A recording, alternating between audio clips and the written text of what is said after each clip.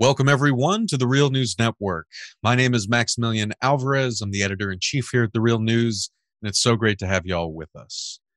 Give me your tired, your poor, your huddled masses yearning to breathe free, the wretched refuse of your teeming shore.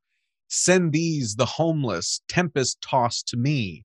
I lift my lamp beside the golden door. These, as we all know, are the immortal lines uh, to Emma Lazarus's famous poem, which is enshrined on a bronze plaque on the pedestal of the Statue of Liberty. Often seen as a beacon of welcome to people around the world, the poem reaffirms one of the most sacred principles of our national mythology. America, we have been reminded throughout our lives, is a nation of immigrants, a new world where freedom and opportunity seekers from all corners of the globe can come to pursue their potential and live in a nation that is ostensibly defined by its commitment to safeguarding citizens' right to life, liberty, and the pursuit of happiness. This is certainly the national mythology that I grew up with, and it is certainly what drew my ancestors to this country from Mexico, Italy, and elsewhere. It should be no surprise, however, that the mythology of America as a nation of immigrants has a very complex political history. And studying the history of how and why this mythology emerged can actually tell us a lot more about America than the myth itself. That is precisely what our guest today, the brilliant Roxanne Dunbar Ortiz, has done in a masterful new book entitled Not a Nation of Immigrants settler colonialism, white supremacy, and a history of erasure and exclusion, which is out now from Beacon Press. And in this book, which uh, is right here and that I would highly recommend that everyone go check out, Roxanne writes, quote, the United States has never been a nation of immigrants. It has always been a settler state with a core of descendants from the original colonial settlers, that is, primarily Anglo Saxons, Scots Irish, and German. The vortex of settler colonialism sucked immigrants through a kind of seasoning process of Americanization, not as rigid and organized as the quote seasoning of Africans, which rendered them into human commodities, but effective nonetheless, end quote. And to dig into this book, to to unpack, uh, as she does so beautifully in the book, uh, this national mythology and the political uses that it serves. I'm honored to be joined by Roxanne Dunbar Ortiz herself today on the Real News Network. For those who don't know, um, you know Roxanne is someone who needs no introduction, but I will give you a short one uh, right now. Uh, Roxanne grew up in rural Oklahoma in a tenant farming family. She has been active in the international indigenous movement for more than four decades and is known for her lifelong commitment to national and international social justice issues. She is a world renowned historian, uh, winner of the 2017 Lannan Cultural Freedom Prize, and she has authored and edited numerous books, including An Indigenous People's History of the United States, which won the 2015 American Book Award, and Loaded, A Disarming History of the Second Amendment. Roxanne, thank you so much for joining me today. Thank you, Maximillian. It's wonderful to be back on real time and with you. Well, we're so honored to have you back here. And um, yeah, I mean, I, my mind is just going in a different million different directions after reading your book. And you know, I think the the real test will be kind of keeping us focused right on on kind of the essential points and ultimately encouraging viewers and listeners to go out read the book and and let us know what y'all think about it and so i figured maybe by way of like entering this sort of like important vast world that you explore in your book i was wondering if you could kind of walk us through the origins of this nation of immigrants myth right? Because i know that for me growing up it just felt like just such a, an integral almost ontological part of what America was, but you detail how, you know, it's actually a relatively new phenomenon and it's been kind of shaped in very kind of important ways for important reasons. So I guess where where did this sort of mythology of America as a nation of immigrants come from and how was it constructed? Yeah, even when I had um, railed against this for many years, I wrote a um, what I call kind of a rant, but back at that time in the early 2000s, they called it a, um, a blog that uh, Monthly Review published. Uh, Stop saying this is a nation of immigrants. I myself, until I took it on as a project uh, a few years ago, uh, did not know that it just hadn't, you know, it was just one of those sayings that you don't know where it really came from, or some songs like folk songs that it's just always been around. But actually, uh, it was in my youth. You're much younger than me, so it uh, clearly you would think it was, uh, you know, had been there all your life and even before but I'm much older, and um, I was pretty aware uh, in that period of time, or soon after, of uh, and the '60s came pretty quickly, uh, and I was very involved. I did not know that it was actually dated 1958, that it had an origin date, and that was uh, it was a book published by John F. Kennedy um, in 1958 when he was senator from Massachusetts and preparing to run for president. And you know, his father had always dreamed. Uh, I think the older son was supposed to be the one, but he was killed in the war, World War II. Uh, so John was the uh, second in line to promote to that role. So it was a really long chance, and he barely won uh, because never before had there been a child of immigrants, uh, or and certainly not a Catholic, ever uh, be president, and um, that uh, was a big hurdle uh, for him to do. So I think it was more of um, a piece of propaganda for building up to, for normalizing, um, normalizing uh, immigration. Every other president had been either Anglo or Scots Irish, Anglo American or Scots Irish American. Uh, the Scots Irish were the people who, uh, the Scots uh, who um, colonized, uh, did settler colonialism in Ulster. Still today, uh, a major a major issue, um, uh, the troubles of Ulster, Northern Ireland, uh, breaks out into war now and then, um, but they only got 50 50 there. But many of those um, seasoned settler colonialists were among the early settlers in the 13 colonies, and especially uh, populate Appalachia, like 90% of Appalachia today um, are descendants. So these characteristics, um, I, I, don't think that Kennedy, from the book that I get, I don't get the idea that he understood U.S. history at all. Um, so he he just deals with mainly um, with Irish famine refugees and the the tragedy and sorrows and how they became great citizens and became police and so forth uh, upstanding citizens, you know, naming them and building up a case for basically for Irish immigration. So he mentions others, uh, but only in, you know, a few words like about the uh, Chinese, of course, the first. Um, the first Immigration Act of the United States was in 1883, and it was ch- the exclusion of Chinese, this Chinese Exclusion Act. Um, he apparently didn't know that. hadn't bothered to look up any history of the um, of immigration to the United States, and uh, and he he says of the Chinese, they came with their gentle dreams. Um, you know, whereas they were treated horribly, they were not allowed to be.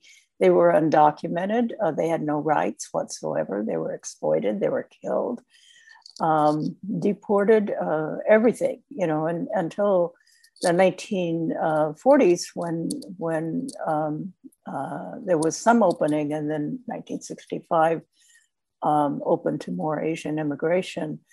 So it's a, you know, it, it's a, it's really a propaganda piece, but I was very interested in under, uh, seeing that not only did he understand did not understand settler colonialism, he made little of uh, Native people. Um, he has a longer passage about Native people than you know any other people, uh, building up to calling them the first immigrants. He actually he actually writes a um, a myth that is a uh, a myth in Ireland. There are many myths like this of who discovered America.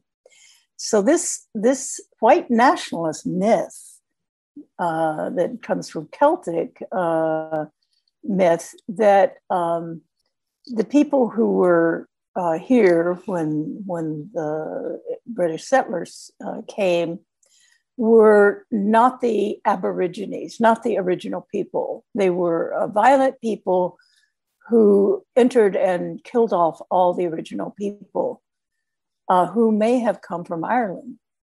So that's one issue, you know, throughout the book, the self-indigenizing of, um, of people. So he builds on that as credibility that really, you know, we're not we're really not immigrants. We're just returning to our former homeland. Um, so it's a kind of crazy book. And then he ends up, yeah, calling Native Americans scattered tribes um, without governments and um, uh, that they uh, were immigrants. He calls them the, the first immigrants so that was very interesting to me. Uh, so reading this uh, book completely changed my um, the trajectory of um, how I was going to, you know, write the book and, and, deal with it. It it gave me so much more to work with and, and to clarify that this was something. And I know that period of time very well. It's when I was coming of age, um, uh, the 1950s uh, post World War II. And um, of course, the 60s, you know, being involved in that, we dealt with racism, we dealt with native, you know, red power, the land base, uh, all these things with feminism uh, that had not been dealt with before, but we really weren't dealing with with um, settler colonialism. And of course, I wasn't, even though I was my Dunbar and my family, my father's family, were descendants of these Scots Irish from Appalachia. They made the trek first to uh, out of Kentucky and then to Missouri and then to Oklahoma. And many then scattered to the west, you know, with the Dust Bowl and so forth. So they're everywhere. Um, so I knew that history very well, but I thought it was normal. There were also immigrants around, Polish, uh, Czech, and uh, German immigrants. There were also in Oklahoma, there were also um, Italian uh, and others, but in the central Oklahoma where I was, it was German, Czech, and uh, in fact, there's a town that I grew up nine miles from this called the Czech capital of the world, Yukon, Oklahoma. Uh, so predominantly Czech um, descendants. So I, I knew I, I definitely had a concept of immigration. These were immigrants. Um, most of them were Catholic, and I was a Southern Baptist. Uh, and Southern Baptists hated Catholics, uh, considered them um, evil, basically evil.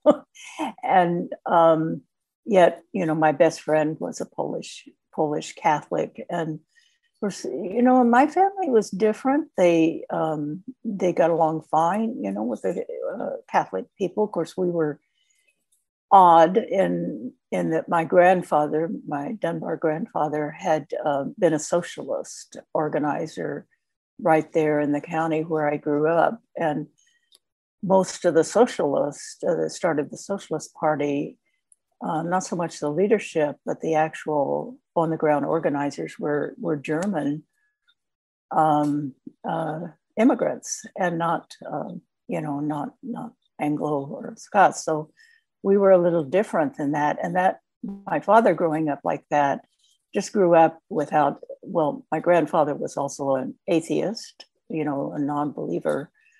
Um, and um, my father was too. So um, I, I feel privileged in that sense that I didn't become prejudiced um, uh, you know, anti-black racism is another thing. But I I didn't think badly of of immigrants, but I had no concept of settler colonialism. I just knew there was a difference between us that we were, you know, we were somewhat more authentic. That they were they were people to be treated with respect, but they weren't really weren't really Americans. You know that that was a mental state. I've reviewed my thinking in my mind when I was younger, um, when I wrote a memoir called Red Dirt Growing Up Okie, trying to, you know, really be uh, clear about um, that. And that came in handy writing this book in, in terms of being able to read minds a little bit, you know, how settlers look at uh, they, the white nationalists are mostly descended from these original settlers. Um, and do not consider anyone who's ever come as an immigrant, you know, after the 1850s as uh, legitimately, whether they get citizenship or not, they're not, they're not fully Americans in their view. So that's the extreme view, but a lot of people don't understand that that's what uh, these armed um, white nationalists are about. Uh, they claim that uh, white genocide is taking place. And when they say white, they mean basically Anglo or Scots or German. Um, they don't really consider, uh, I mean, some people get through and get kind of honorary status, like the guy who founded the Proud Boys is actually a, a child of Cuban exiles, uh, and he's very dark. But so it can but they they pass but they're the minority because they have to agree with this assumption you know of the of the the superiority of the settler well and i mean like you know that's that was one of the you know really deeply existential you know sort of experiences that i had reading your book right i mean i've, I've talked about this a lot on my show working people right where i've talked a lot about my own family history and my own upbringing but i mean i you know as a first generation kind of chicano growing up in southern california uh, I grew up very conservative, very Catholic, right? And and in mm. Orange County, right, I had a lot of white friends. There there was a, a lot of weird mm. ways that that conservatism, the the the kind of want to be accepted, and that sort of first generation aspect of our family it really created some interesting stuff there, right? Yeah, where where you you, you felt like you know we were doing it the right way and the the immigrants you know or refugees who were crossing the border were doing it the wrong way right there you mentioned that mm-hmm. word authenticity right? There uh, I, I hadn't put it in those terms but i feel looking back there was this sort of constant identity crisis that was circling the drain of authenticity a drain that was always empty at the center because I never knew what authentic being an authentic American was, but I knew that it, it, whatever it was, I didn't have it within me. I had to perform it somehow, right? Um, so, so there are a lot of a lot of revelations that came, you know, for me personally, like reading your book, but um, you know, not just like personally, but but really historically, as you just kind of walked us through, right? I didn't quite realize that the nation of immigrants mythology that seemed to define so much of my family's history, so much of what I understood America to be, was such a recent creation in our kind of like national right. discourse.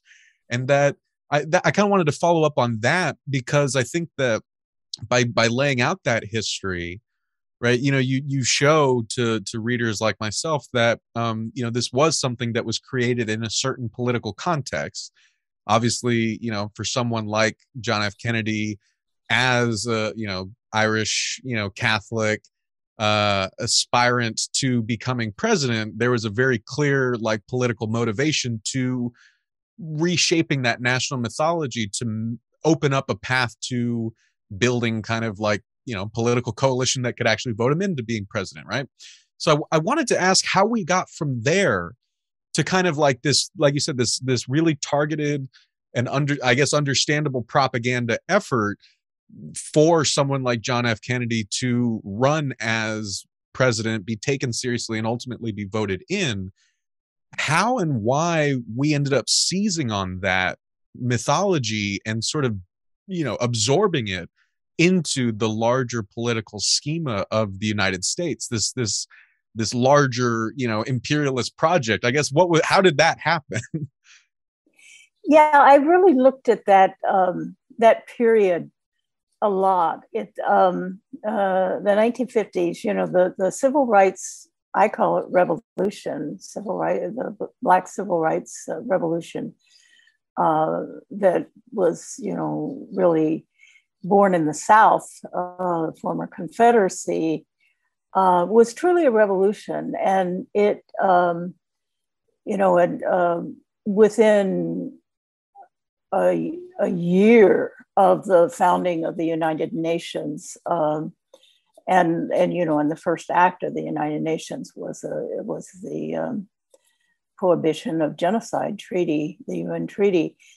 Um, Paul Robeson and um, other outstanding, uh, W.B. Du Bois was still alive and was a part of this, uh, saying we charge genocide and took a manifesto uh, to the UN. Um, Native Americans had been uh, had had been expelled as such in 1953 with the um, with the uh, elimination of the actual Elimination Act, the um, uh, to lose all their their uh, status as Native people and land base. And it took 20 years of red power, you know, to reverse that, and a great deal was lost in the process. Um, but it could happen again, you know, just with a stroke of the pen, because under a colonial system of uh, trust trusteeship. They don't actually own their communal lands. Um, so that's you know colonialism still uh, still existed. So here's the competition that came out of World War II with communism. Uh, China uh, became communist in, in 1949. Uh, and of course, the Bolshevik Revolution was already uh, 40 years old and um, clearly seemed like it was here to stay um, at the time.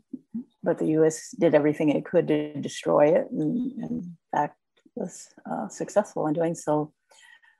Uh, but this presented a huge challenge, and especially with TV, um, TV coming into play, uh, pictures of um, you know video, uh, actual film footage of uh, of cops uh, bloodying unarmed uh, protesters in the South, like white cops, and these images that were going over. The the Soviets were using this as propaganda. Um, I mean, it was truth. it really was propaganda used to, and as you know, in Spanish meant truth. Um, but it um, it was uh, shameful, you know. And they, of course, they set up uh, they set up uh, Air America to publicize everything they were doing that was so good, and also they they were rushing to create cover up the history of slavery, the history of genocide, all of these things which the rest of the world didn't know about. Um, and largely still don't because US propaganda is everywhere. And you know the official story is is never breached at any governmental level until well until black and native people uh, uh, and also chicanos you know farm workers started going to the united nations in the 19 well you know uh, black people actually in the 1950s 50s and um, uh, I started working with the International Indian Treaty Council in 74. And we went to the UN in 77. So this was, you know, really late, but it was such a shock to people from all over the world, including, you know, very socialist, uh, still socialist governments and, um, uh, and national liberation movements in the 1970s, that they had no idea you know, they knew there had been Indians. They were all wiped out, and there weren't very many of them. And um, you know that that the U.S. was a great democracy, and um, and that you know, they certainly learned differently quickly with Angola and the counter revolutions, the counterinsurgencies that the that uh, the U.S. did in Africa, um, and of course everywhere in the Caribbean, overthrowing coups, and so people learned that they were imperialists and learned that, that, but they didn't really know the history of settler colonialism. They still thought it was a a democracy that was not um, was going off the track and um, that's what the U.S. wanted to present is is to cover up that history. So I think the nation of immigrants, beside the reason it got picked up, and there's reason why John F. Kennedy wrote it. I'm sure he wasn't thinking all those things because he didn't know it himself. Uh, he was thinking getting elected, but um, why it was picked up by U.S. historians who are you know, really um, people who who are U.S. citizens who do um, U, U.S. history. You know, U.S. historians who do who have U.S. citizenship, who do European history or Asian history, they usually do a very good job. Even they're pretty good even on Latin American history um, these days, or in the last thirty years or so. Uh, but if they do US history to fit into that and to prosper, to get tenure, you know, to get high level jobs, uh, to publish books, they really have to stay within the mythology, you know, the, the origin story. But they had to change that origin story when they're up against an adversary that actually has studied the United States and knows um, you know, knows these things. I mean, just they all they have to do is show the film footage. Uh, when I was in Cuba on the Venceremos Brigade in 1970, they showed us some of the black and white uh, footage that aired in Cuba in uh, the early 1960s, and um, they were awful. We, I, uh, you know, I, I had watched a lot of these horrible things. It really politicized me seeing uh, the treatment of people. You know, that's one, really how I got politicized was opposing the, um, uh, you know, this violence uh, against Black people that was becoming obvious, and of course the wonderful uh, mass movements.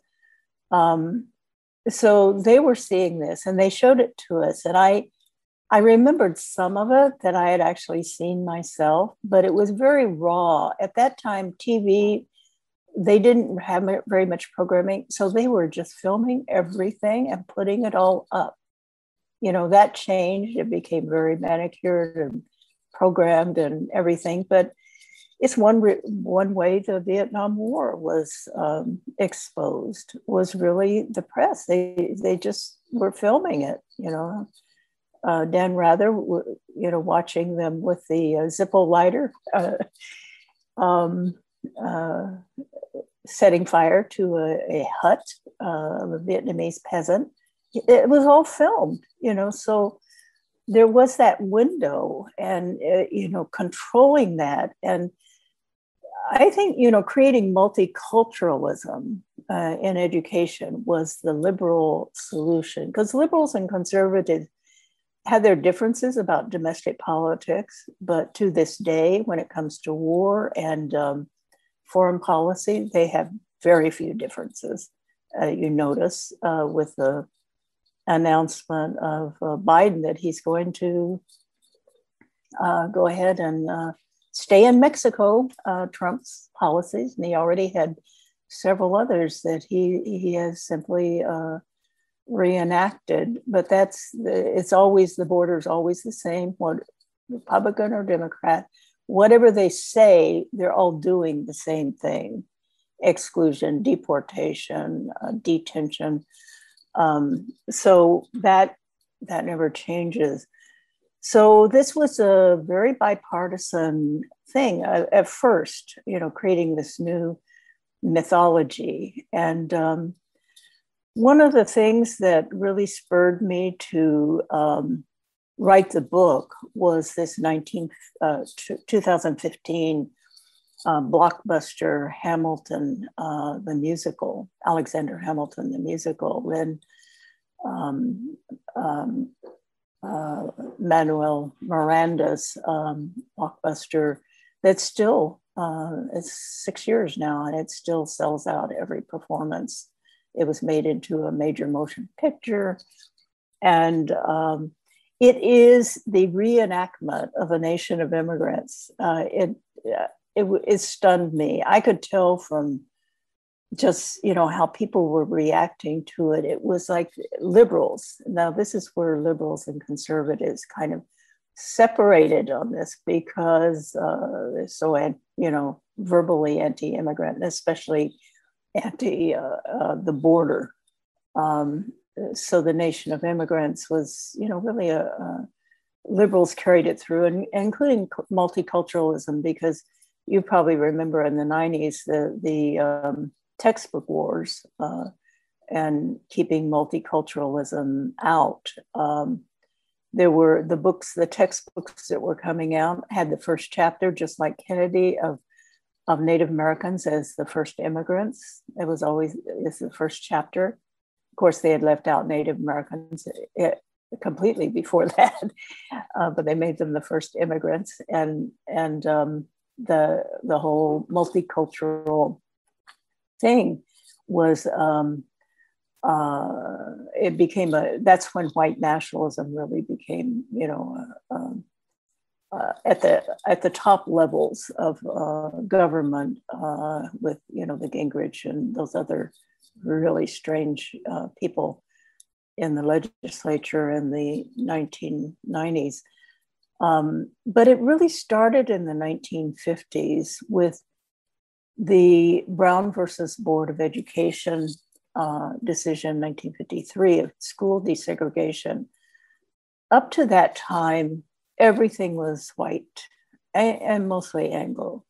The um, entire government uh, you know, tiny exceptions, uh, one or two uh, state governments, uh, state legislatures, Congress, uh, down to school boards, uh, police forces, everything was run at the highest levels and even pretty far down by white Anglo-Saxon Protestants still.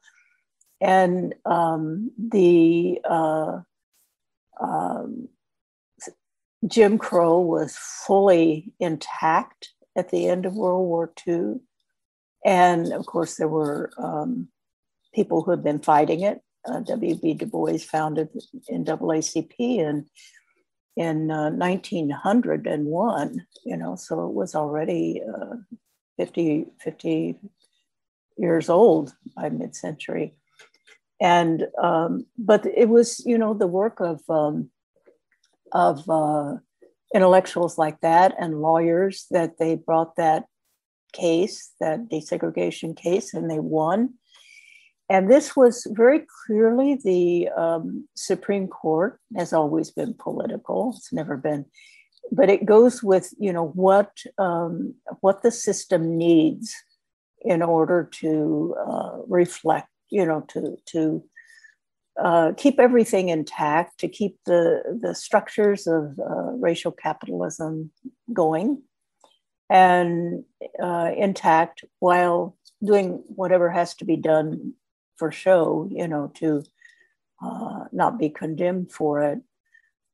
But you had this this this backlash, uh, not only the violence, you know, that we saw on the ground, but the formation of the John Birch Society, a self identified white nationalist organization.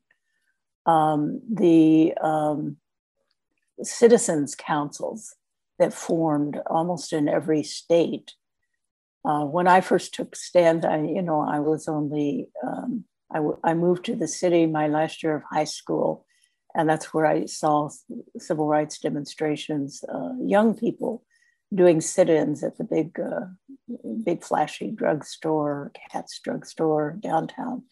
And my uh, Central High, the trade school I went to, was downtown. So I would actually, you know, walk by. I, I, didn't join. I didn't think I could. I didn't have any idea but I really admired them. And of course, they were on the news and everything.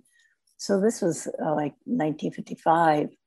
And um, that I don't think I even knew until then about the, the desegregation decision. You know, growing up in rural Oklahoma, you don't really get that level of news. you know, so something like that. But um, a lot of censorship of the press in Oklahoma, oil and gas. Uh, you know, it's really almost like it was almost like a, a Batista or Somoza kind of regime in Oklahoma. Um, everything having to do with communists was banned. The commun, uh, if, if Marx's capital was found even in someone's home in their private library, they could be arrested. And those laws were all in place while I was growing up. So they, you know, after the red success in Oklahoma in the early part of the 20th century, they really took over, drove everyone out, um, and um, uh, clamped down, you know, really hard. So it's pretty much still like that today. Um, so growing up there, it was spotty, you know, the, and I wanted to get out, just get out of there, which I got married and we did come to San Francisco to find, you know, people we could um, really, you know, do something without getting getting hurt or killed or banned or whatever. Um, so that was, you know, probably a cowardly thing to do.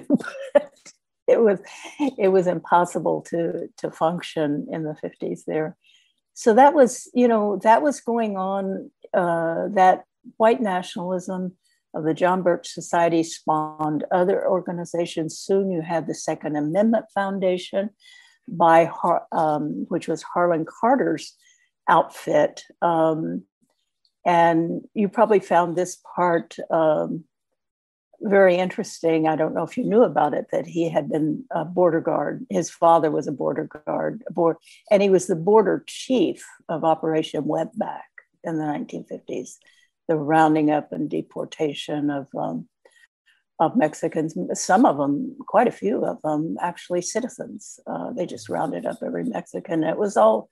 It was pretty much all for show that they were doing something you know, to uh, limit the, while, you know, the growers all were recruiting undocumented uh, Mexicans to do the agricultural work. So it was, uh, you know, it was a show, but nevertheless, he was he was in charge of it and pretty well known. But when he um, retired from the uh, border uh, as a border chief, he had already been a member of the National Rifle Association but he started this organization in the white nationalist enclave of Eastern Washington State uh, called the Second Amendment Foundation. The Second Amendment was never, ever an issue. And he, um, uh, they then set out, and it took four years, they took over the National Rifle Association. So that's when the National Rifle Association became a um, white nationalist organization. So that, you know, uh, I, I have you know, Harlan Carter's horrible deed. He was a he was a real monster as a you know as a border guard. He also killed a, a Mexican boy um, that was actually in in El Paso, um, in the same you know in the town, same town. And um, uh, when he was when he was fifteen, uh, he shot and killed this Mexican boy. He was tried and did some prison, but it was overthrown and wiped off his record. So he, he became a border chief. So that sort of gives you an idea of who who works the border.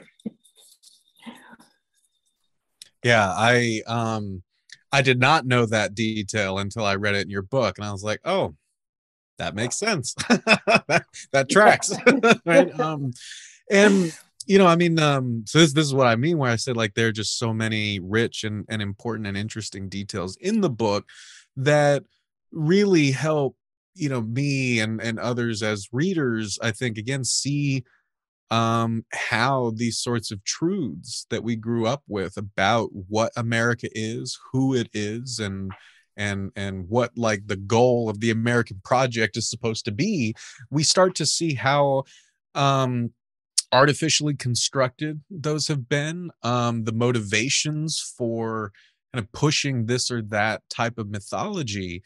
And you know, I, I, I wanted to kind of fold that into a question about how your analysis, you know, really does lay bare again, like what like you know like when you it's kind of like if it looks like a duck quacks like a duck it's a duck right? So that's kind of what you're doing with america. You're like okay america says it's this but here's i'm going to look at the machine and basically tell you what the function is. And you kind of really land on this this um you know analysis of the united states as a perpetual settler colonialist project that coheres into what um, you refer to as the fiscal military state right? So not you know this sort of beacon of democracy right? But but actually a sort of engine designed to do a very specific thing you know in its territory here in the united states and, and then increasingly around the world. And so i wanted to ask about that but i guess one thing i wanted to mention is like i think one thing that was really revealing in your book was sort of the existential and cultural function that the nation of immigrants mythology serves. It was even kind of in, in, implicit in a lot of what you were saying, right? I think about the you know the the Americana and all the kind of culture that I grew up with that defined America for me. I think about lines like in uh, "You are my you are my sunshine, my only sunshine."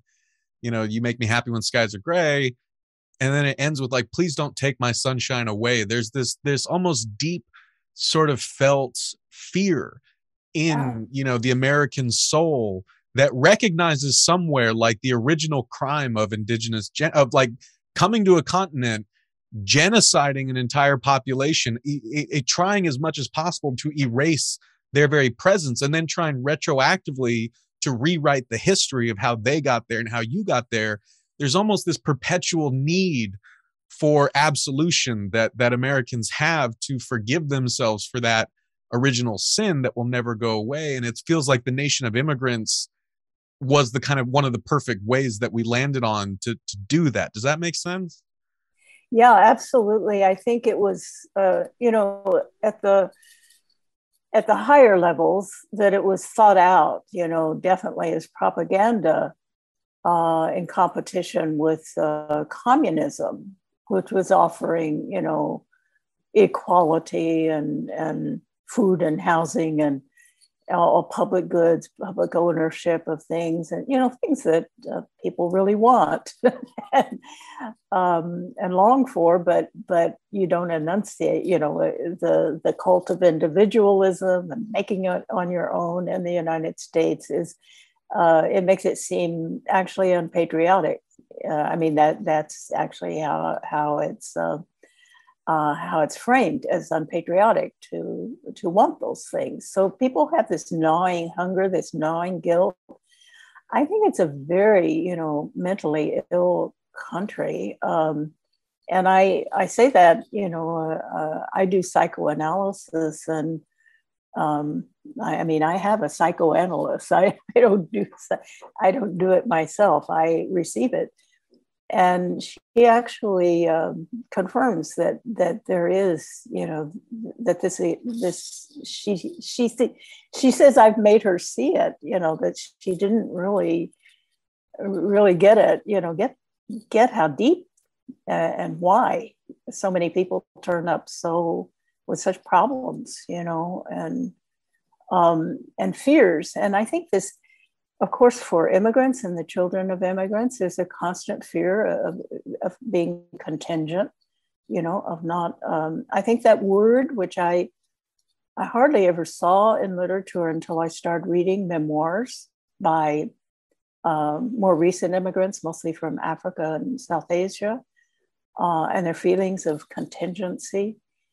Um, that just never goes away even you know when they're third or fourth generation it still hangs on um, that that's their but you know with multiculturalism i remember people suddenly uh, it was very interesting that uh, everyone was working so hard to become white you know Noel Ignatiev wonderful book on how the irish became white.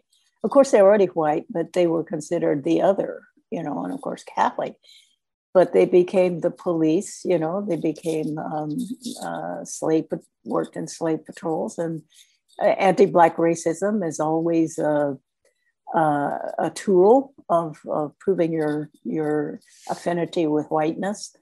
And so these things get picked up as, as survival mechanisms by immigrants. I don't think it's some, you know, evil thing in them, you know, that, that to survive in the United States, uh, you have to have some level of whiteness, uh, uh, you know, culturally, and even if you can't achieve it physically, uh, that that you can become an honorary kind of an honorary white person.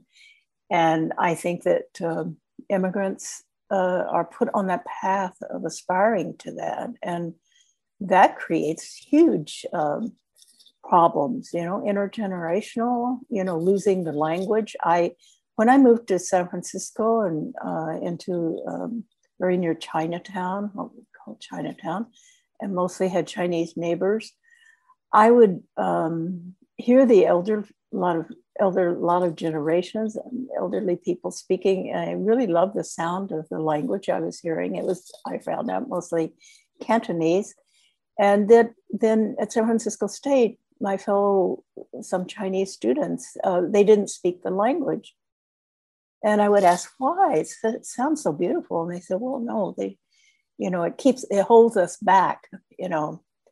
So, and I think that I heard that from Chicanos too, that their, you know, their families uh, who they were mostly, when I was at UCLA, mostly uh, by then first and second generation uh, from Mexico, and they too, their families. Um, so they they spoke the Spanglish, you know, uh, a mixed kind of Chicano language, and um, which people started writing poetry in. I mean, it's kind of a a dialect in itself, but that deprivation of a, a, of a mother tongue just seems really cruel. You know, it's so hard to learn a language, a second language, when you're an adult, um, and to just have it as a gift because it's you know you can speak uh, dozens of languages. It doesn't take away from any one of them, and so that really struck me. I, I didn't know that because I hadn't been around that many people. I knew the German, you know, the, those immigrants, they didn't speak their languages, uh, the people my age, but I made nothing of it. Uh, but, you know, seeing uh, people who were so different um, as the Chinese people and hearing their language and, and really liking, you know, the feel of their families and their extended families and their of course, the food and um, Chinese New Year and everything. I was just fascinated, and there was this kind of shame, you know, and uh, and the people my age uh, really, and I I didn't understand it, you know, at the time, but. I think that's so tragic. It's uh, generations and generations of uh, people who have suffered uh, you know, trying to become accepted and Americanized. And I have to tell them it's never going to work. You have to change this country, you know, and you can't do it by numbers. Um, it's uh, structural, you know, that's, that's what uh, critical race theory is and why they're so afraid of it, um, the right wing, because it says that this is built into every structure that exists in the United States, and that eh, you know it's not going to go away with um, with uh, training, diversity training. it's, you can be become the nicest person in the world and and spew about your anti-racism and read every book, and it's not going to change anything. Probably not even you, because so much of it is automatic and not something you really have control over unless you're you're re-educated you know but ethnic studies has gone a long ways i think that's one of the things i worked on that we brought out of the 60s was ethnic studies i think it has i noticed you know until the pandemic i was traveling a lot and speaking to mostly at universities uh, undergraduate students and uh, the diversity impressed me so much, but how how loving they were with each other, how, uh, you know, that word woke. uh, I like that word myself, how woke they were to everything. They didn't know as, they don't know as much about Native people, but they just immediately grasp it and, uh, you know, and, and that, so there is something else going on. Um, we'll get to that later, you know, what we can think about for the future, but um, but it is, you know, it's a it's a horrible, uh, horrible kind of uh, processing that um, how Columbus was used and is still a problem, you know, as a cult figure uh, to Americanize the Italians, you know, of posing him as the first founder, that they're actually descended from Columbus, and he was Italian and Catholic. So therefore, they are original people. You know, this, they have to find a way to make themselves, and it worked. You know, it, it, pretty much worked. I mean, most Italian people now are you know third or fourth generation um, identify as white, and uh, um, and there's some real monsters like Pompeo and Giuliani and and all that made it. You know, made it to the top, and um, uh, I know Cuomo, you know, try there was an idea of presidency that they haven't done so well. I mean, there's still a, a you know a really a scrutiny uh, that goes on that that um, uh, even generations on, you know. So it's a it's it's something that that uh, but I do think the center of it, and of course, James Baldwin was very um, important to my understanding uh, this at, the, at a really deep level. I started reading James Baldwin when I was in high school, his early work uh, and his novels. And um, I, but I've learned much more, you know, and uh, even even very recently with um, Raoul Peck's uh, uh, film on uh, I Am Not Your Negro, um, part uh, unpublished uh, things he wrote, but that that um, this is a um, uh, this is a a structural thing that immigrants. He talked a lot about immigrants. Um, when I was re-researching, I hadn't really noticed, you know, his emphasis on immigrants. He was really trying to talk to immigrants and have them not be complicit in anti-black racism. Um, and so that you know um, it's really hard. I mean i think it's hard for people to they look especially it's not them so much as their children. They want them to be able to adjust and do well in school and go to college and be able to do a good job and not become a, um, a radical know, and get themselves in trouble.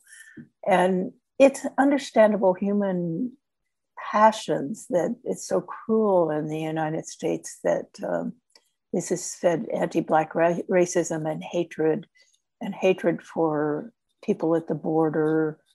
Um, hardly any objection to the treatment of the Haitians, who I just learned are all in a horrible detention camp uh, in the desert in New Mexico. Um, and no one, you know, even knows they're there, their families or anyone. They don't even know why they're there. So it's, you know, this this cruelty that goes on that that that is that we um, tolerate, you know, it's largely tolerated that uh, they should get in the legal way, you know. Well, right. I mean, you know, like uh, I was saying earlier, you know, I I recognize that um, and and identify with that. I, I can look back at my own history and and see a lot of myself in in what you were just saying, right? I I know that there were plenty of times where you know you you're, you're if you're a teenager you want to be popular right you want to be accepted right you you you know you want the cool kids to think that you're one of them and when those cool kids are white um, you know, one of the ways that you can do that as a brown person is to be self-deprecating, right? Play into the the kind of jokes about Mexicans like I did. But also you can you're very much encouraged, right, to participate in that sort of culture of punching sideways and punching downwards right so you make fun of you know the the black students the east asian students right it's kind of like we're we're all you know throwing barbs at each other for you know our white friends amusement. And it, and you gain a sort of purchase on whiteness through that right? You gain that sort of acceptance um and and even if you don't realize that that's what you're doing and it took a lot of time i think for me to sort of gradually decouple myself from that that kind of culture and and all that good stuff. But i definitely recognize it in what you're saying and, and can think back to how it it shaped who i was uh, earlier in my life but like like you were saying from from baldwin to you know kind of very, the very beginnings of of where we started with this talk i think that what you do show so you know beautifully in this book is that understanding that this is baked into the structure of what America is, right? And what America as a government and in the government's relationship to um, you know the land, to its people, to the economy, what it was designed to do, right? And um, you know, I could I could talk to you about this all day, but I don't want to take liberties with your time. So I was I was thinking about folding this in, right? Since right now everyone is still talking about critical race theory and and rejecting that sort of structural analysis that sees what you lay out in this book that settler colonialism white supremacy patriarchy like that these are part of how the, the, america has grown into what it is. This is part of how the structures that govern our lives were fashioned in the first place and by whom they were fashioned and upon whose graves they were fashioned right? So that's that's like where i found the concept of seeing america as this fiscal military state was really enlightening for me right? It it, it tore away the again the mythology and helped me sort of see what this machine that we call the united states of america was really built to do and how effectively it does that. I wanted to ask if you could if you could talk a little bit about what that concept, you know, does for your book why it's uh, it's so important for understanding you know the united states. And then you know we can kind of um, wrap up and, and think about like how what we've learned over the past centuries of how to combat that um, and what we and how we can do that you know in the 21st century. Yeah i i was so happy to um, find that concept. Um, there's a wonderful uh, law review article. It's 95 pages long, um, but it's uh, free uh, on the internet. It's called The Savage Constitution uh, by, by a um, now Stanford law professor, Greg uh, Ablavsky. And he uses that term. He studies the Constitution. It's it's interesting. I had I see you know in my Indigenous peoples history of the United States, and even before that, I I have de- I've tried to deal with the cult of the Constitution. I've seen it as dating, you know, to the Puritans and having to write everything down, and the, you know the um, uh, and the Pilgrims, and you know this kind of Protestant, uh, this Calvinist Calvinism um, because that's what I was, you know, taught uh, in or learned from from or gleaned from uh, from history. But it, it's so ephemeral, you know. I am a, a, historical materialist, and I want to get something, you know, a little bit clearer about this. And though those roots may be so, it's in the writing of the Constitution uh, that that before they wrote the Constitution they wrote the Northwest Ordinance and published it. It was the Continental Congress that produced it, the founding fathers produced the Northwest Ordinance. And the Northwest Ordinance is the essence of the Constitution. It was folded in, you know, when the Constitution was written, it was actually passed by the uh, Congress, you know, as um, as as the structure. So people I, I know U.S. historians avoid it. There's a wonderful younger, um, I mean, he's not young, young, he's younger than me, um, historian at the University of Oregon, Jeffrey Ostler, who is written a book last year, published a book. He had already published a couple of articles uh, that really are good. Um, I the book came out after you know after my book had already gone to pro- production, so I, I cite it, but I I wasn't able to use it. But Ablavsky, I already had this down from um, this fiscal military state. It means uh, it's a it's a um, technical term. Uh, it's it was used by British historians to describe you know the British Empire, uh, you know its whole mechanism, and it, it it translates into out of the legalese it translates into a state made for war. So it's a, um, in the case of the United States, it's a capitalist state made for war.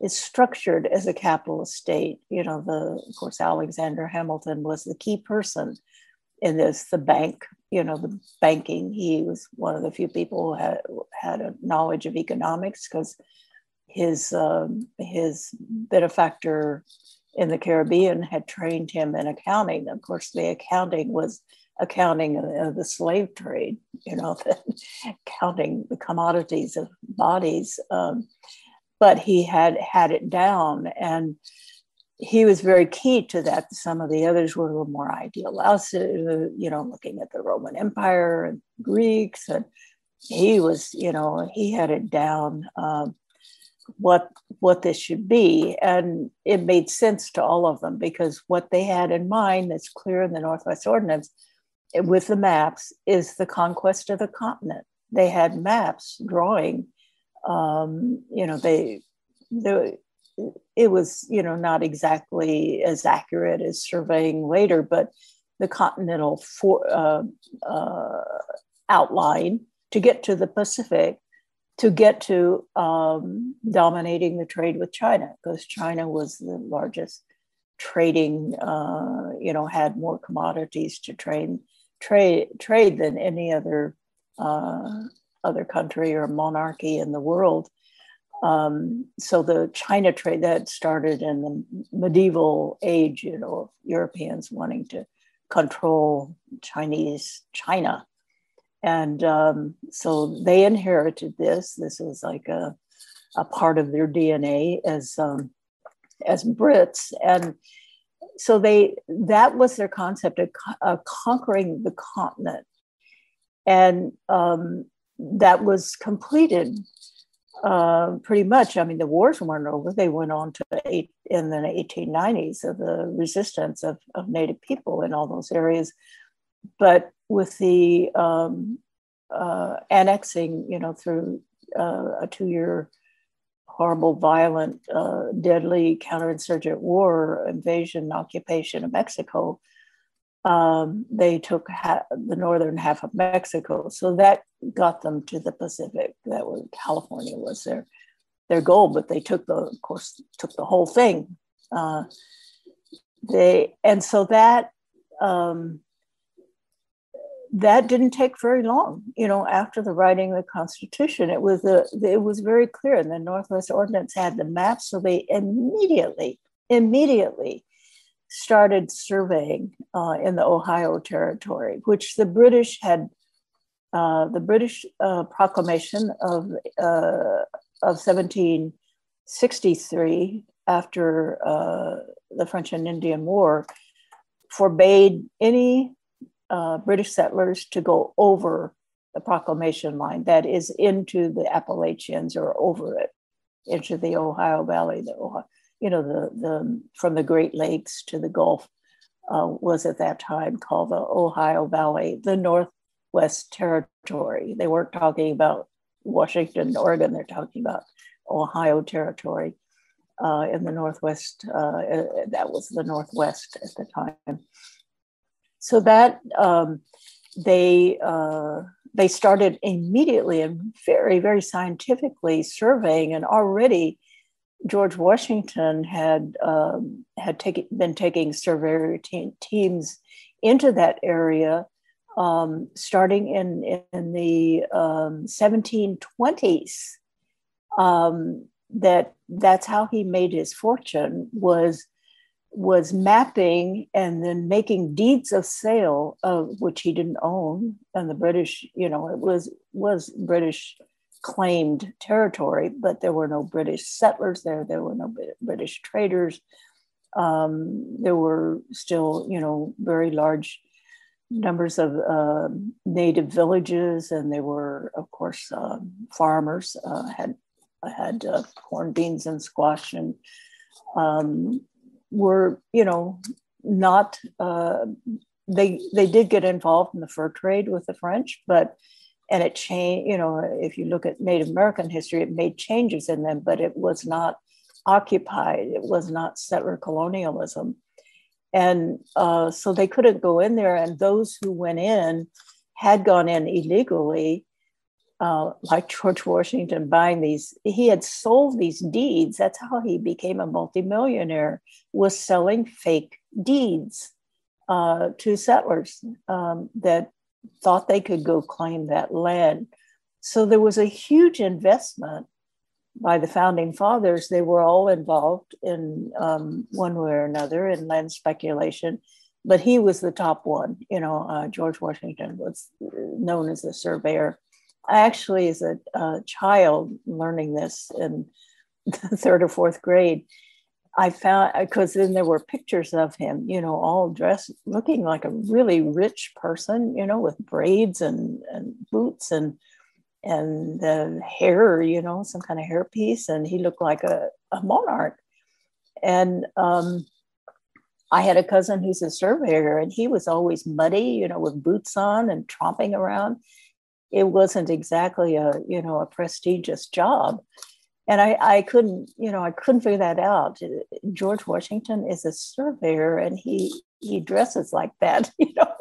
How does he keep so clean? You know of course he was only leading uh, his militia of surveyors. He wasn't actually doing the work and i you know took me a long time to figure that out. But um, it was he was known as the surveyor. So they had a vested interest in breaking with Britain because they all had, you know, had financial interests. Not only that, but uh, of course, uh, the continuation of chattel slavery and the expansion of it, because already, you know, the southern colonies were mo- uh, moving, you know, moving into the large, you know, what became the Cotton Kingdom, the richest, one of the richest. Um, agricultural areas of the one of the seven great agricultural areas of the world that Native Americans created. Uh, and they had come from Mesoamerica and done the same thing as had happened in Mesoamerica. And this was, um, they had their eyes on that for expansion of um, plantation, you know, cotton uh, as a commodity so that um, you know capitalism was there are all these books out now um, making clear that that uh, the cotton kingdom was the platform for the formation of uh, of um, not pre-capitalism but capitalism that it was not a uh, medieval you know uh, a return to a medieval practice like eugene genovese tried to make it it was actually um, the fount of capitalism. Um, just just the value of those human bodies, enslaved bodies, were greater than all other assets of the United States put together at that time. So this is the fiscal military state. It's um, it, you have to deal both with slavery and you have to deal with uh, uh, settler colony. They had to create settler colonialism to occupy um, the country because these were, you know, Native people were not, you know, just wandering tribes. They had governments, they had, they quickly formed armies. They hadn't, you know, the farmers anyway, east of the Mississippi are all farmers. And in the Southwest, they, they didn't, uh, you know, really have to have armies or anything. They farmers don't like war. Um, but as you know, as these adversaries came in and tried to take their land, they began building um, military confederations like Tecumseh's and so forth. And and so it it took them a hundred years, uh, a little more than a hundred years from the Northwest Ordinance and the Constitution uh, to fully control the continent. It's a hundred years of war, unending, uh, daily, every minute. I don't think there's a minute in U.S. history that anyone can find, actually dating back to the uh, first colony and the founding of the U.S. to the present, that the United States is not making war somewhere, including at this time, not declared war, but wars at this time. They're still fighting the Moros in the Philippines. They're still, you know, uh, and all over in Africa uh, involved. They have military. They still have military in Iraq, and they have uh, mercenaries in in Afghanistan. So they're not, you know, there's always they can't do without war. Um, that that is, you know, it's built in, and it's the only thing that usually unites. It's been problematic since the 60s. And, you know, and the anti-imperialism of the 60s, the anti-Vietnam War, um, which didn't really turn into a, a true anti-imperialist movement. You know, Will, William Appleman uh, Williams, the great um, so-called diplomatic historian, but he was a historian of U.S. imperialism um, he his wonderful book uh, imperialism as a way of life his 1980 book is a, a, must read he he lists all of the interventions thousands of them uh, actually during the um, right after you know at, at the time of of independence the us had by 1810 they had warships all over the world in every dock you know um, opening so-called free trade. They had two wars against uh, Muslims, and the um, uh, in uh, Tripoli. Um, so they were they were. This was in 1806 and 1808 under Jefferson. Two two wars that are never taught about the bar, so-called Barbary Wars. This is where the Marines get their song from the halls of Montezuma. They wrote it after you know taking Mexico City, they wrote it there, and from the halls of Montezuma to the shores of Tripoli. And why there's no curiosity? What what's Tripoli doing in there? You know, I mean, it's just it, it, it is you know this fiscal military state from the very beginning. And from the beginning of U.S. Indep- uh, of Mexico's independence, actually before that, it was very clear the writing was on the wall, you know, because the war went on for 10 years. Um, the war against Spain in Mexico. I was pretty devastated at, at that end, but you know, here was so from 1821 they started moving into Mexico. They call it Texas, but it was Mexico. You know, the slave owners were moving into, and then claiming as their own. And most people think that you know Texas really did become independent in the state of the United States, but that was not in any way legal in in quotation marks until the Treaty of Guadalupe Hidalgo. Texas was included, and so even that history that should be so clear is is muddied, you know, with the obfuscations of uh, of the reality. So I think the fiscal military uh, uh, concept and then understanding you have to take a, a, magnifying glass to the Constitution after you know, read the Northwest Ordinance and see what they're writing into it in a kind of legalistic language.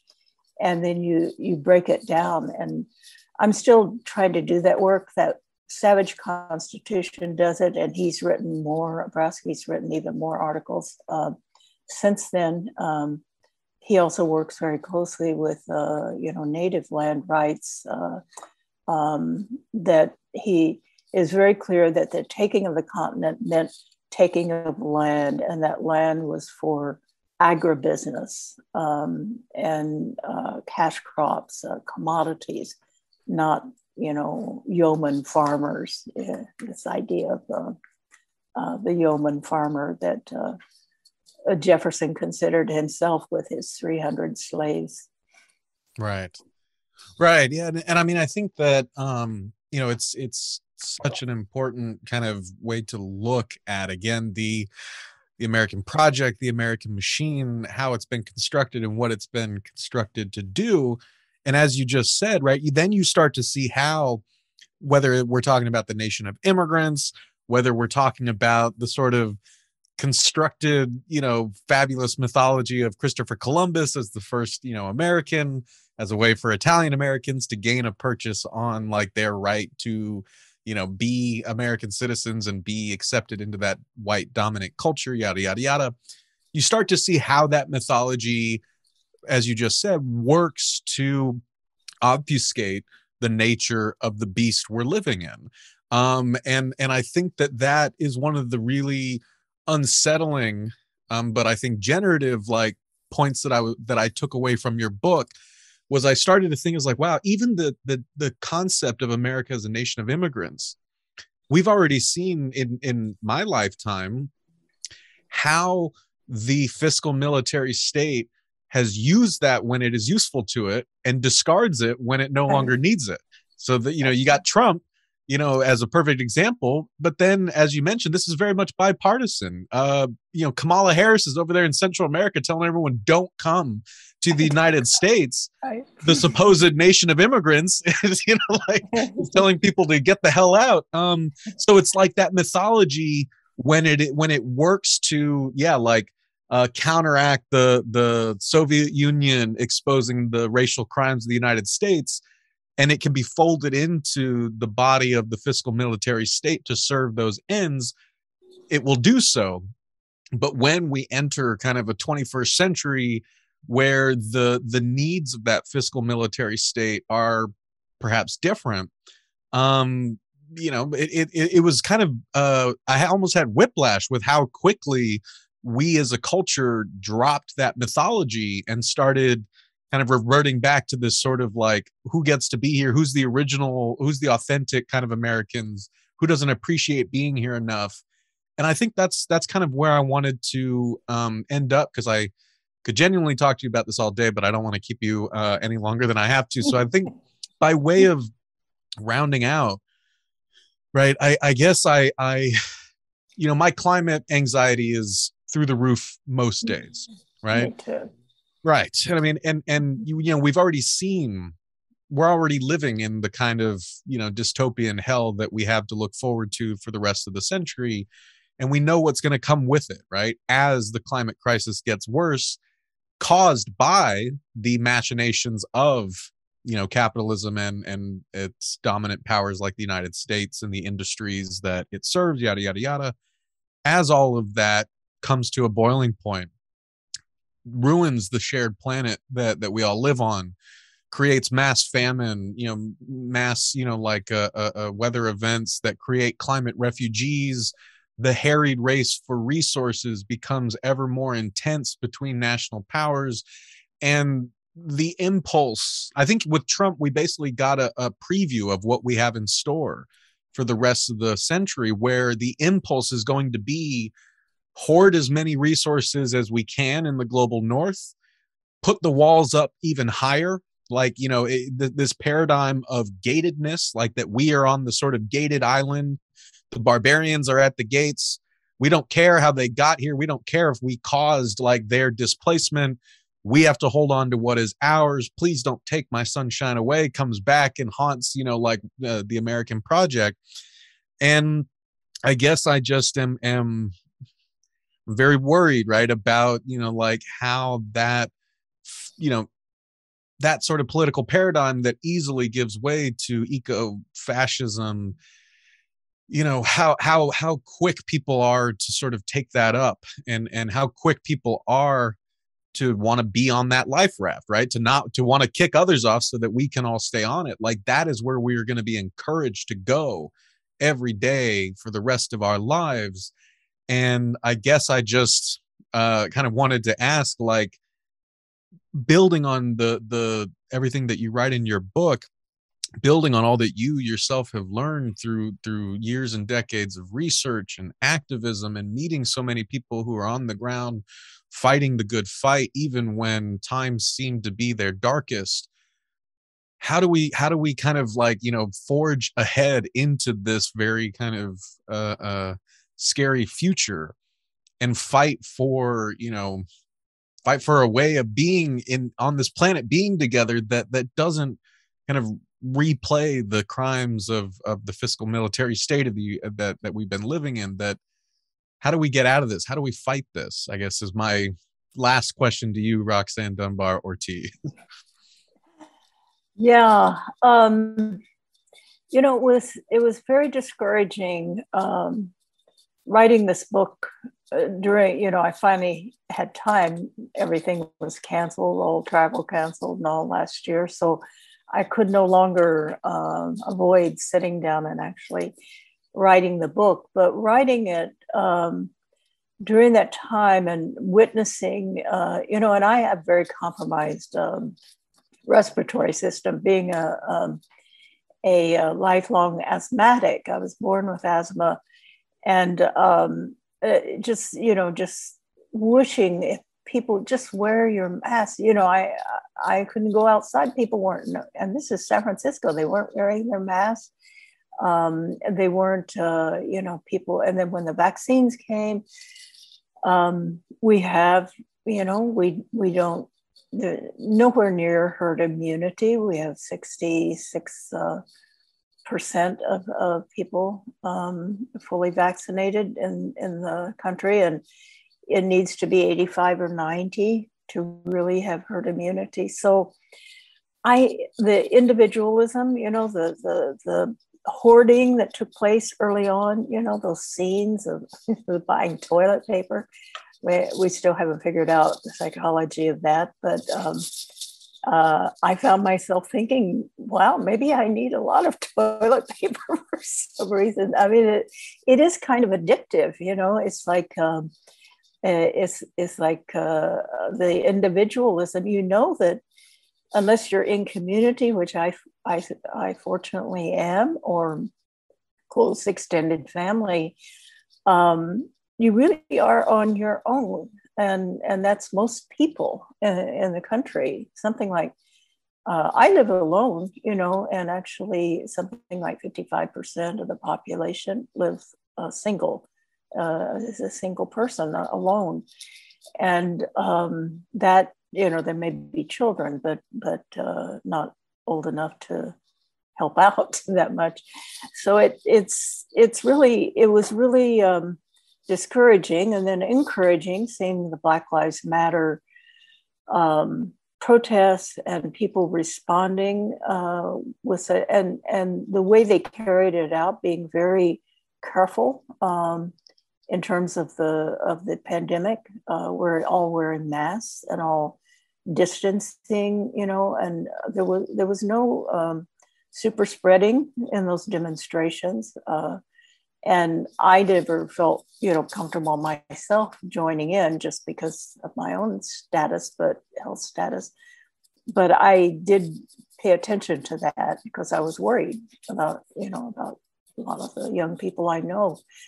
Um, but it was discouraging. And then, then, you know, with Glasgow coming up uh, and people preparing for the um, all last year, trying to prepare for, uh, you know, some some really uh, ramped up uh, policies that that could uh, at least try to halt. I mean, we've already had so much destruction, and some of it's not reversible, and it's coming so much faster than predicted. And um, to find, you know, the United States being um, uh, refusing to sign the, the zero carbon goal um, because I guess of Joe Manchin. Uh, they changed their mind, you know, because Joe Manchin uh, objected, being, you know, owner of coal mines. And so capitalism is killing us. You know, I think that's the message we have to get out. And I also think that for the left, you know, there's a problem because um, I've also experienced and studied the left, including, you know, my idealized uh, grandfather and the early socialist movement, which I admire so much. And that's before I, I knew that Chinese were excluded and black people were excluded. You know, it was white, and um, uh, that that the the left in in, in the United States has um, developed really by immigrants in the industrial period of the 1880s and 1890s. These are uh, largely uh, immigrant populations who were working, as most of the Anglo Scots people, um, you know, with the exception of, say, the Appalachian coal miners. Um, the and, and, there there were of course a lot of Irish and Italian immigrants as well. So these were you know these were uh, the goal of workers was not to really form a working class revolution, but to buy, be able to buy property, you know, and to become middle class. And that's what they did. You know, by the 1950s, the, the, the government sponsored the GI housing and, you know, housing for white people. And the suburbs uh, popped up and everything. So, really, we've never had an authentic um, working class movement, I think, in the United States, uh, because the goal of any of, of, settlers and then immigrants have to pick this up is that they will own property or own a small business or uh, if they could a large business a corporation and this is not the goal you know of french workers or british workers I, I, I think we don't you know understand that that how settler colonialism uh, kills the possibility of um, worker solidarity. And uh, it's and then you know of course how the unions were structured as business unions with their own health care plan actually spoiled uh, the possibility of um, uh, of national health care which all the European countries and Britain Im- immediately. You know, that was the union's demand uh, in those places. And uh, here it was business unions. So they have an interest, you know, in their health plans and making money. They they lobby against um, uh, Obamacare, you know, the public option, uh, because their unions are actually business unions, they're corporations, and so but we have to have a workers movement. There are workers they're workers. I mean they but this gets to consciousness.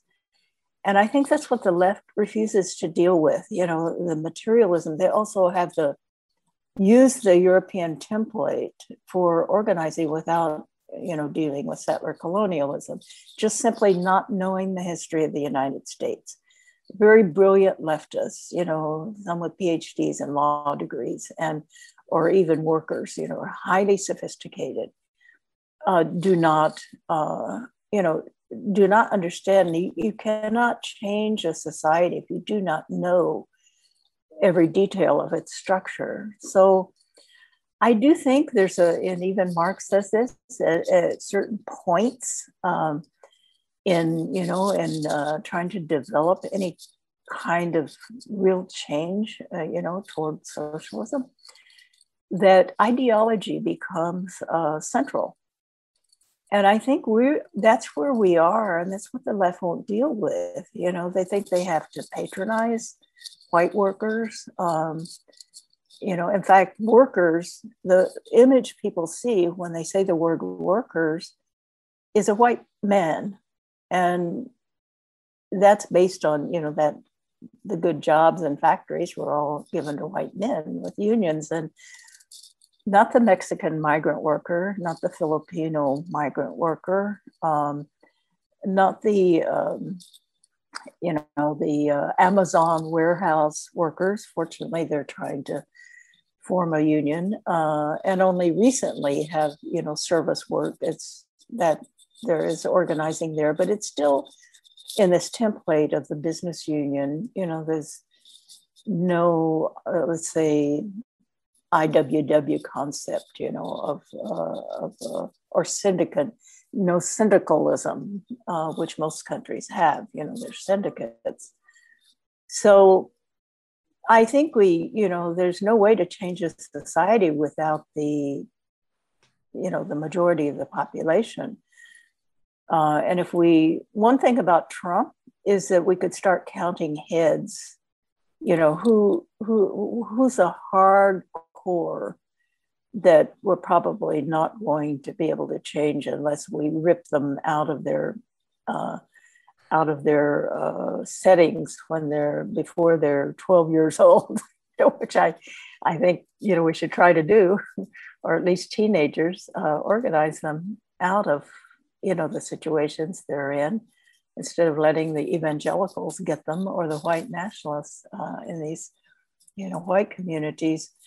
Uh, but I think I, think we you know the left is very um, and it's even hard to say there's a unified left, but the many lefts that I know about, and you know, I've experienced many and been in some, and um, I mean, you know, in some of the organizations, and over time, and at the present, and um, I see what's lacking is is uh, you know that a lot of analysis gets done. I worked with a um, a group in the 1990s, some of whom, you know, out of that is one, you know, Black Lives Matter really came out of those, um, uh, out of those, you know, really intensive um, um, meetings, uh, discussions, and presentations.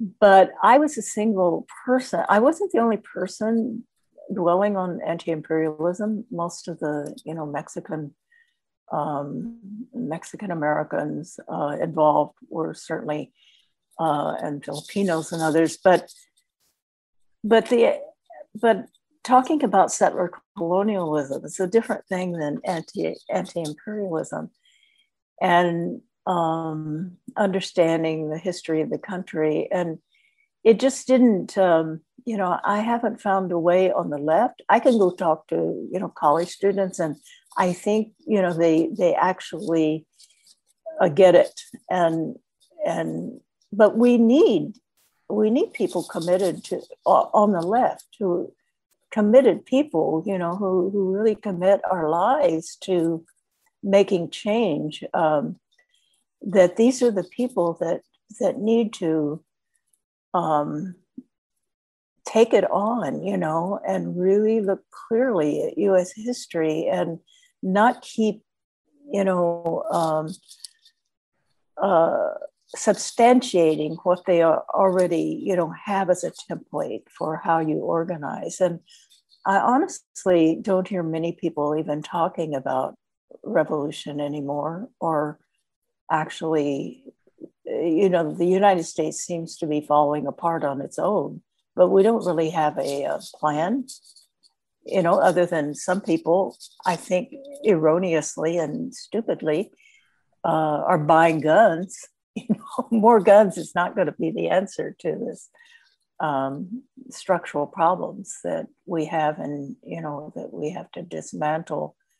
Um, it, it, would be nice, you know, if it were were that simple, but it's going to take mass movements, and um, like we saw last summer and that was very focused on one thing and it was important for that but we can do that with you know with climate change. Uh, i think we can build um, a left you know that that gets educated about the history of the united states and combine that with um, the catastrophe that's ahead if we don't make change and to name capitalism and and not just name it but break it down how it works, uh, not put an adjective in front of it financial capitalism, disaster capitalism, or this or that capital. It's just capitalism, you know? It's not because that implies it can be improved, and it can't. It wore out any, you know, I never agreed with Marx that it had its role, you know, in, in creating uh, levels of production. Uh, I never agreed with that. I think we would have been better off had capitalism never been invented. Um, or there would have been no imperialism if there hadn't been capitalism. They were tied together. And that was the, uh, you know, the what they call the primitive accumulation of capital was the looting of the Americas. So um, this is, you know, how it was made possible. And I, I think that um, there's just a, you know, a hopelessness that has to be overcome, not with optimism, but with with um, determination. You know, to to figure it out. You know, it's not that it's not really that hard to figure out. I think that's a that's a great note for us to wrap up on. That is world-renowned historian and activist, uh, author Roxanne Dunbar Ortiz, um, author of many books, including "Not a Nation of Immigrants," "Settler Colonialism," "White Supremacy," and a history of erasure, a history of erasure and exclusion, out now with Beacon Press, which everyone should go check out. Uh, Roxanne, thank you so much for taking this time to talk with me and sharing your brilliance so generously. I really, really appreciate it. Thank you so much, Max. It's uh, it's such a pleasure because you have a real life experiences that you know that that that you bring to the questions that made a very rich conversation. Well, thank you. It was really an honor to have you on, and I hope we can uh, have more conversations in the future, but I know I've yes. taken up more than enough of your time today. So, again, thank you so much for joining me and for everyone watching. This is Maximillian Alvarez for the Real News Network. Before you go, please head on over to therealnews.com forward slash support. Become a monthly sustainer of our work so we can keep bringing you important coverage and conversations just like this. Thank you so much for watching.